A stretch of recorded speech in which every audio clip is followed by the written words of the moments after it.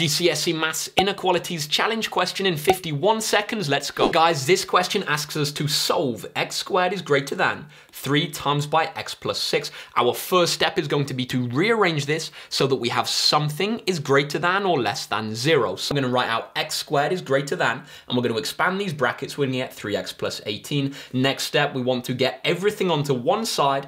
We're going to get x squared minus 3x minus 18 is greater than 0. This gives us a quadratic which we can factorize. We need two numbers which multiply to give minus 18 and add to give minus 3. So we're going to have x minus 6 and x plus 3. We can then sketch this quadratic. We're going to have x-intercepts of 6 and minus 3. So we can draw that on like so.